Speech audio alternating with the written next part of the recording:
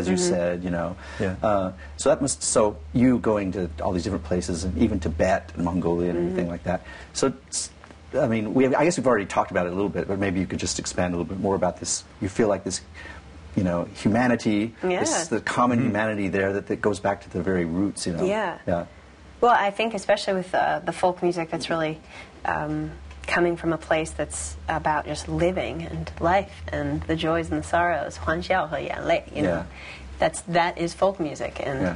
anybody can play it, and that's the point. It's the Yeah. music of the people. Yeah. Um, I, I would even argue that in modern day, probably the simpler forms of pop rock are kind of like uh, the modern day folk music to a certain extent. Mhm. And I would just love to see armies of, armies, I say armies, but peaceful armies of musicians coming over here and learning Chinese and getting excited Yeah. about it and having these kinds of collaborations. And, you know, the stronger those ties are under the surface of sort of the more uh, the paradigm of political discussion for guiding the future. I, th- that's where the, that underground, that swell, the underbelly of what's happening amongst the people is where the real, the real solidarity and the real, the real change is going to happen. So I, I hope, I just hope so many more people come over here and do this. I don't want to do. I don't want to be a novelty. Right. People are always like, "Oh right. wow, you really picked something to get you attention. You know, You're really a novelty." And I'm like, "N- "No, this is my life. This Yeah. is how it's unfolded, and I and this is it, it simply is a manifestation of what's happening in the world.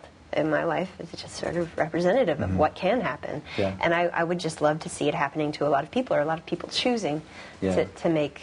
Yeah, and I think it's important that you uh, are obviously. I mean, uh, w- what I really like about about you as being someone who's lived here a long time and, and, and like you respects this culture.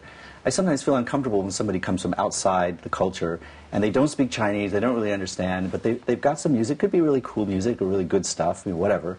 But there's a certain attitude of, you know, I'm going to bring my stuff here and, you know, plant the seeds and everyone's going to worship me and it's really great, you know. Yeah. And, and you're someone who doesn't fit into that mold at all. You're someone who's came, you know, from the inside. You learn Chinese. You're singing in Chinese. Mm-hmm. You know, Writing and- lyrics in Writing lyrics in Chinese. I mean, this is wonderful. Uh, you know what you're doing, and uh, maybe you could talk a little bit more about how Chinese music or Chinese, you know, the, the music scene is influencing you and changing Oh, your yeah. music. Well, well, I, I chose to study American traditional study, learn to play some American traditional songs because of China. Because Yeah. China, I just saw how deep, deep and rich this culture is. I mean, this culture, it's wow, just what that covers, it blows my mind. Yeah, it's really many cultures. It's Yeah. like yeah, right. yeah, exactly.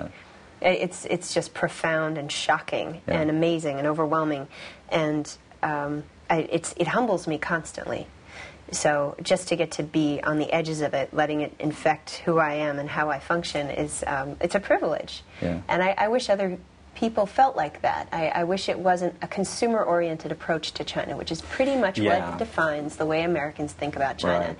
Uh, you make the goods, I'll consume them. I'll come there. I want you to give me what I want, which is to be important, to feel like a star, to feel special, because I don't at home. Mm-hmm, There's a lot of that. I want people to, to think about their approach to China with the same in, in the golden rule. You know, Mm-hmm. treat others as you'd want to be treated, and to find a lot of meaning because of that exchange. And I, I just wish more of that would Yeah.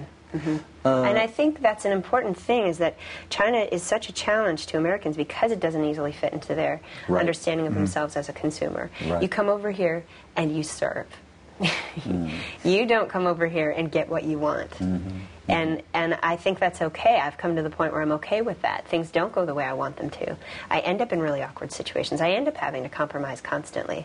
But it makes me a better person. Mm-hmm. Yeah. It makes me a better global citizen. Yeah. And I I would like other people to experience that because it's so enriching. Yeah.